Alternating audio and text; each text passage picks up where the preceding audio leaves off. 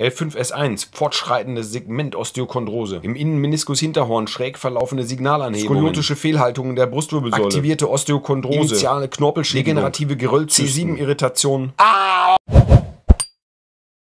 Herzlichen Glückwunsch, wir sind Weltmeister in Deutschland. Und zwar Weltmeister im Erstellen von MRT-Scans. So wurden bereits 2009 auf 1000 Einwohner 211 Schnittbilduntersuchungen gemacht, davon 114 CT-Scans und 97 MRT-Scans durchschnittlich. Und dies hat uns eine fragwürdige Spitzenposition eingebracht. Einer der Hauptgründe, warum MRT-Scans erstellt werden, sind zum Beispiel auch körperlich-mechanische Schmerzen, wie zum Beispiel Rückenschmerzen oder Knieschmerzen. Ich hatte vor einem halben Jahr schon mal ein Video gemacht, ich verlinke dir das hier einmal oben.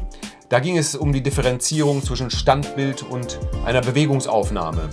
Denn ein Rückenschmerz ist in ganz wenigen Fällen nur ein strukturelles Problem und somit durch ein Standbild zu erkennen, aber in vielen Fällen eben durch veränderte Bewegungsabläufe äh, bedingt. Und da hilft ein Standbild nicht weiter zur Diagnose. Selbstverständlich, man kann durch MRT-Scans oder CT-Scans schwere Erkrankungen besser diagnostizieren als möglicherweise jemals zuvor in der Menschheitsgeschichte. Aber im Zusammenhang mit mechanischen Schmerzsituationen im Körper ist das Ganze oft kontraproduktiv und MRT-Scans sollten gerade im Zusammenhang mit Rückenschmerzen erst erstellt werden, wenn es gewisse rote Flaggen gibt in der Untersuchung oder in der Befragung. Red Flags, Warnsignale, dass sich hinter diesem Rückenschmerz etwas anderes abspielt.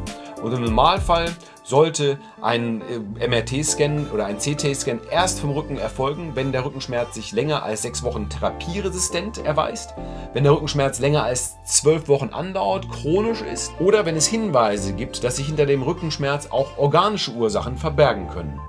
In diesem Video möchte ich euch einmal zeigen, was bei symptomfreien Personen, Leuten ohne Schmerzen, bei MRT-Scans zu finden ist. MRT-Aufnahmen der Halswirbelsäule wurden bei 1211 Personen untersucht und bereits in der Gruppe der 20-Jährigen zeigten sich bei über 75 Prozent Bandscheibenvorwölbungen. Bei 87,6 Prozent aller untersuchten Patienten waren in der Halswirbelsäule Bandscheibenvorwölbungen zu erkennen.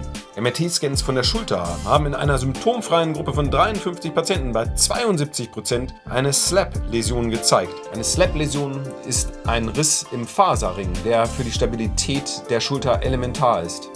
2015 wurde eine Studie durchgeführt, in der über 3110 Patienten analysiert wurden auf Verschleißerscheinungen in der Wirbelsäule. Verschleißerscheinungen der Bandscheibe wurden bei über 37 Prozent aller 20-Jährigen entdeckt und diese Quote ging hoch auf 96 Prozent in der Gruppe der 80-Jährigen.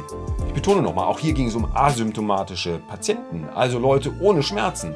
Bandscheibenvorwölbungen wurden bei 30 Prozent der 20-Jährigen festgestellt und das ging auch hoch auf 84% in der Gruppe der 80-Jährigen. 19% der 20-Jährigen hatten Risse im Annulus fibrosus, das ist der Gewebering, der den äußeren Teil der Bandscheibe bildet. Und 29% in der Gruppe der 80-Jährigen. Eine Studie aus dem Jahre 2012 hat MRT-Aufnahmen der Hüfte untersucht und bei 45 asymptomatischen Personen bei über 69% Defekte mit dem Labrum, dem Gewebering in dem Hüftgelenk, festgestellt. 710 Patienten wurden untersucht im Alter von 51 bis 89 Jahren. Bei 68 Prozent dieser Patienten wurden Knorpelschäden im Knie festgestellt per MRT und bei über 72 Prozent wurden Osteophyten, das sind knöcherne Verschleißerscheinungen im Knie, festgestellt. Viele Experten bestätigen ebenfalls, dass die Verwendung von MRT-Scans bei normalen Rückenschmerzpatienten in vielen Fällen kontraproduktiv ist. Denn oft führen gerade diese normalen Alterungs- und Verschleißerscheinungen, die auf einem MRT zu sehen sind, zu falschen Schlüssen und auch zu falschen Diagnosen. Aber es ist jetzt nicht nur das medizinische System, was an der Misere schuld ist, sondern es ist auch die Nachfrage der Patienten. Denn Spiegel Online berichtet, dass 90 Prozent aller Kniepatienten ein MRT-Scan des Knies bei der Diagnose des Problems als sehr wichtig empfinden die gängige Praxis, dass bei Rückenschmerzen immer sehr schnell MRT-Aufnahmen gemacht werden, ist ein bisschen zu vergleichen mit Monty Python und der Maschine, die immer Bing macht. Ah, also you have the machine that goes Bing! Wenn wir diese Aufnahmen sehen, das befriedigt ein bisschen unsere Neugier, dass wir mal erkennen und sehen, was im Körper da passiert. Aber wie gesagt, das Ganze ist ein zweischneidiges Schwert. Denn die Schmerzen, die entstehen, entstehen oft durch falsche Bewegungsabläufe und nicht durch die Verschleißerscheinungen, die normalen Verschleißerscheinungen, die auf den Aufnahmen zu sehen sind. Die Motivation, warum so viele MRT-Scans gemacht werden, ist relativ einfach. Für den Arzt, den behandelnden Arzt, gibt es ihm Sicherheit. Er kann nicht regresspflichtig gemacht werden, denn er hat ja regelkonform gehandelt und entsprechend einen MRT-Scan in die Wege geleitet. Und auch für den Patienten gibt es selbstverständlich Sicherheit, dass man schwere Pathologien, schwere Krankheiten ausschließen kann durch die MRT-Scans. Und die Patienten, wie wir gesehen haben, fordern teilweise ja auch die MRT-Scans regelrecht ein.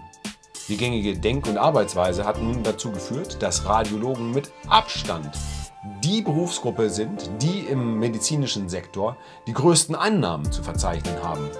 Die Praxen der Fachgebiete Radiologie, Nuklearmedizin und Strahlentherapie kommen demnach mit 850.000 Euro im Durchschnitt den höchsten Reinertrag. Generell sind die Möglichkeiten durch MRT-Stents ja sehr, sehr gut und für die betroffenen Patienten ist es extrem gut, ein so engmaschiges Sicherheitsraster zu haben, dass da wenig Patienten mit schweren Erkrankungen durchrutschen können. Aber wir sollten im Zuge einer Kostenersparnis für das Gesundheitssystem und auch um gerade im Thema Rückenschmerzen falsche Schlussfolgerungen und falsche Diagnosen zu vermeiden, wieder ein bisschen mehr Menschenverstand walten lassen im Einsatz dieser Technologien und nicht alleine der Maschine die Diagnose überlassen. Wenn du mehr dieser Videos sehen möchtest, vergiss nicht meinen Kanal zu abonnieren. Gerne auch die Glocke drücken, dann wirst du immer informiert, wenn ein neues Video von mir kommt. Und wenn dir dieses Video gefallen hat, freue ich mich auch über einen Daumen nach oben. Wir sehen uns.